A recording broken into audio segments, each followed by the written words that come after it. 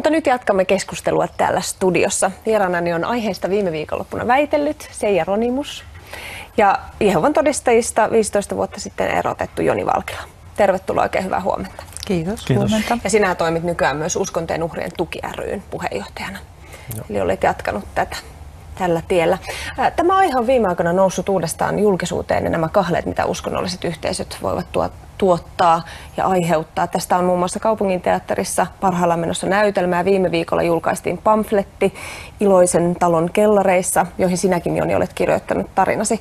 Kerrotko vähän, että miksi sinut siis erotettiin? Joo, parikymppisenä mulla oli ähm, tyttöystävä, joka oli tämän yhteisön ulkopuolelta ja, ja tästä syystä sitten äh, erotettiin seurakunnasta. Että, äh, itse asiassa prosessi oli pitkä, että äh, puolen vuoden ajan Jehovan todistajan vanhimmat kuulusteli mua hyvin yksityiskohtaisesti siitä, että minkälaista syntiä mahdollisesti on harjoitettu. Kuinka monia suomalaisia tällainen kohtalo koskettaa tai koskee? Tietysti lukumäärää on vaikea sanoa, mutta tiedottaja Veikko, Jehovan todistajien tiedottaja Veikko Leinonen jo, jossain haastattelussa kerran mulle sanoi, että, että, että noin prosentti heistä vuosittain eroaa, joista noin puolet palaa takaisin. Eli silloin tietysti, jos siitä laskee, että Jehovan todistajia on hiukan alle 20 000 Suomessa, niin ehkä noin sataa sit siinä niin kuin vuositasolla, mutta sitä on vaikea sanoa, että mikä se täsmällinen lukumäärä on. Sinä se jo väittelit tästä viime viikonloppuna. Miksi ryhdyit tutkimaan juuri tätä aihetta? No aihe on tietysti minusta kiinnostava, mutta sitten siihen liittyy varmasti semmoinen eräs tilaisuudessa kuulemani tämän kaltainen tarina juuri, missä nuori mies oli kertoi menettäneensä yhdellä kertaa vanhemmat sisarukset, isovanhemmat, ystävät, kaikki sukulaiset, niin se sitten vaikutti sillä tavalla, että mä että tämä on kyllä aihe, jota sietää tutkia. Mitä siitä erottamisesta sitten seurasi? No, Jehovan todistajilla on hyvin yksityiskohtaisia sääntöjä tästä, että, että näiden sääntöjen mukaan tällaista erotettua pitää karttaa. Hän, hänen kanssaan ei saa puhua enää, eikä häntä saa tervehtiä, jos kadulla tulee vastaan. Ja tosiaan mun mielestä tämä asia koskee ei pelkästään niitä, jotka tulee nyt erotetuiksi. Tietysti se koskee myös niitä, jotka on sen yhteisön sisällä, koska myös hekin menettävät läheisiään tällä tavalla. Et näiden sääntöjen mukaan ihan, ihan niin kuin omaisiakin nämä säännöt koskee, että, että vanhemmat ei saa olla yhteydessä aikuisiin lapsiinsa, jos nämä eroaa tästä yhteisöstä. Ja, ja tosiaan vielä se, että itse eronneita ja erotettuja, että näitä kohdellaan ihan samalla tavalla, että yhteisöstä ei ole mitään kunniallista ulospääsytietä, vaan se aina johtuu, johtaa tällaisiin vakaviin äh, ihmissuhteiden menettämisiin. Miltä se on tuntunut, kun ystävät ja läheiset eivät enää ole tuntevinaan? No tietysti se tuntuu hyvin pahalta, että, että mä, mä menetin ihan, ihan kaikki läheiseni yhdellä kertaa. Ää, ja, ja siitä toipuminen se vie, vie tietysti vuosia. Mikä on tilanne nyt? Oletko toipunut? No 15 vuotta tietysti jo jonkin verran, verran sitten tota parantaakin haavoja, että, että on, on tullut tilalle uusia ihmisiä sitten tässä vuosien varrella.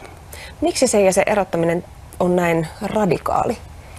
No siinä on varmaan monta syytä, että, että ehkä yhteisön oma, oma ajatus siinä on, että, että saataisiin eronnut toisi, tai niin kuin palaamaan takaisin, että osoitettaisiin hänelle, että miten, miten rakkaudellisen yhteisön hän on menettänyt, että siinä varmasti se on, mutta, mutta ehkä siinä myös on sit taustalla juuri sitä, sitä pelkoa, että, että kun eronnut on ikään kuin siirtynyt sitten sinne niin sanottuun maailmaan, sille toiselle puolelle, rajan, rajan toiselle puolelle, niin, niin jos, jos on kiinteässä yhteydessä sit näihin sisällä oleviin vielä, niin sitten se ajatusten vaihto ehkä on, on sen kaltaista, että siellä voisi, niin kuin, se voisi laajata se ilmiö. Useampikin voisi tulla sitten huomaamaan, että ehkä ulkopuolellakin on vielä elämää ja, ja jopa ihan mielenkiintoista sellaista. Mm. No, minkälaiset asiat johtavat sitten erottamiseen? No Jehovan todistajilla on, on hyvin tarkkoja sääntöjä siitä, että miten ihmisen pitää elää. Eli on, on todella pitkä lista asioita, ähm, jotka Jehovan todistajat määrittelee niin kuin synneiksi ja, ja joista voi tulla erotetuiksi. Kerrotko esimerkkejä? No tietysti kaikista vakavin asia on se, että on eri mieltä kuin Jehovan todistajat uskon asioista. Että tämmöinen niin kuin kyseenalaistaminen ja toisin ajattelu, se on kiellettyä Jehovan todistajien keskuudessa. Sitten on tällaisia monia, monia, monia juttuja.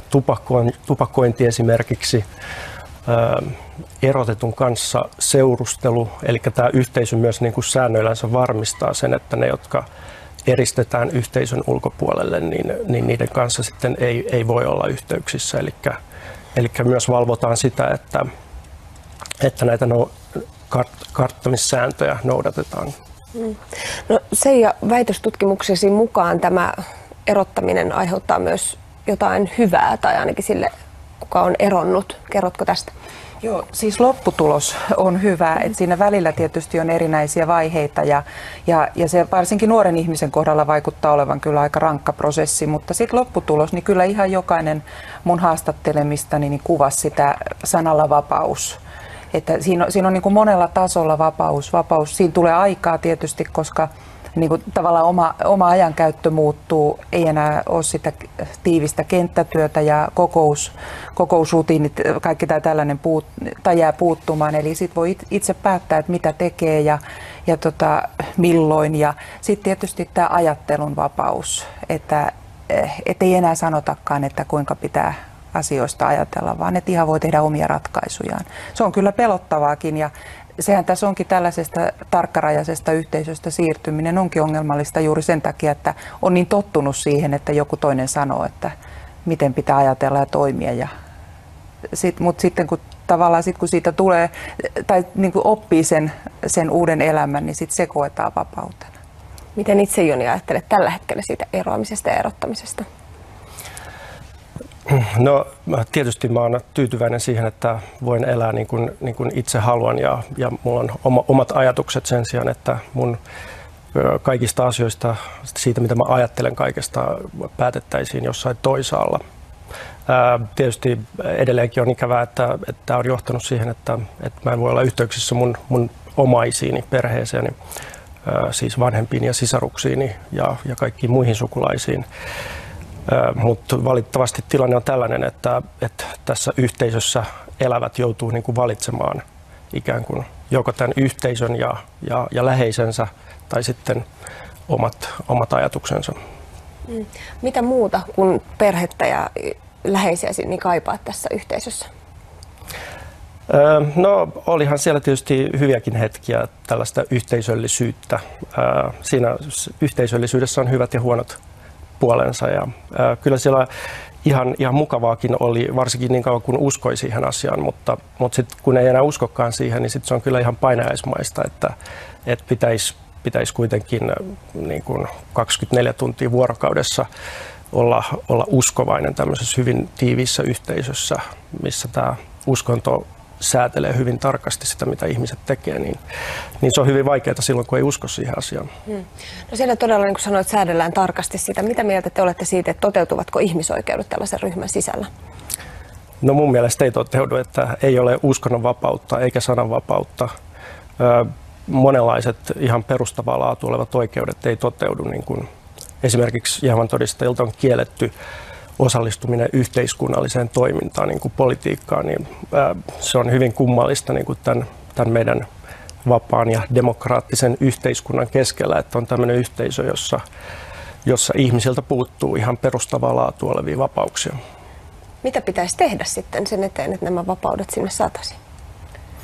Niin, to, tietysti toivomus, niin kuin mikä mullakin tässä tutkimuksen myötä on, että, että jospa päästä sellaiseen avoimeen vuoropuheluun miksei muidenkin tällaisten, tällaisten pienempien uskonnollisten yhdyskuntien kanssa siitä, että juuri tästä, että toteutuuko siellä kaikki nämä ihmisoikeudet ja, ja, ja että niin kuin tavallaan saataisiin sen yhteisön sisältäkin sitä keskustelua syntymään, että mitä he itse voisivat tehdä, koska heidän tavoite on se, että, että kaikki eroaa koska, koska tota, moni on onnellinen tietysti näissä ja sehän tuo ihmisen elämään kyllä parhaassa tapauksessa paljonkin hyvää, mutta, mutta tota, et, et, et, niin se siellä, siellä sisällä oleminen helpottuisi ja, ja sitten myöskin se ajatus jo siitä, että, että se ero ei ole niin katastrofaalista, niin sitten sekin voisi jo omalta, omalla tavallaan niin kuin tasapainottaa sitä tilannetta siellä.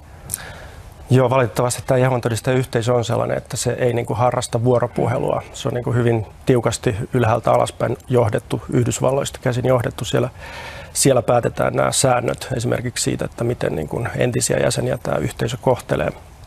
Tästä tuli mieleen, että sä olet todella siis 15 vuoteen ollut tekemisissä sun vanhempien kanssa, niin nyt jos tapaisit heidät, niin mitä haluaisit heille sanoa?